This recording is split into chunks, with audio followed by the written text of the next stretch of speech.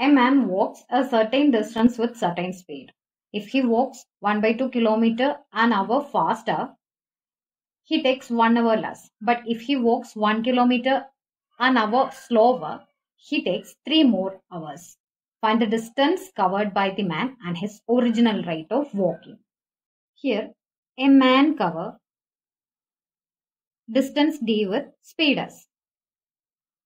When he increases his speed by 1 by 2 km per hour, that is s plus 1 by 2, he takes 1 hour less to complete the same journey. And when he decreases his speed by 1 km per hour, he takes 3 more hour to cover the same journey. So we need to find out the distance and speed of this man. Here, you know, distance is equal to speed into time. Here I will equalize the distance in both the cases. That is in the first case and in the second case.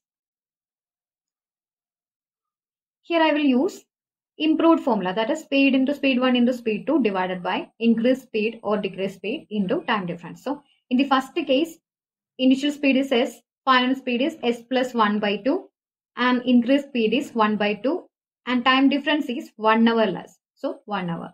Then that is equal to second case initial speed is s, final hmm. speed is s minus 1 and increased speed is 1. Time difference is 3 more hour to cover the journey. So 3. So here distance I equalized. So s will cancel. Then 1 by 2 will be 2 here. So 2 into s plus 2 into 1 by 2 is 1. That is equal to 3s minus 3.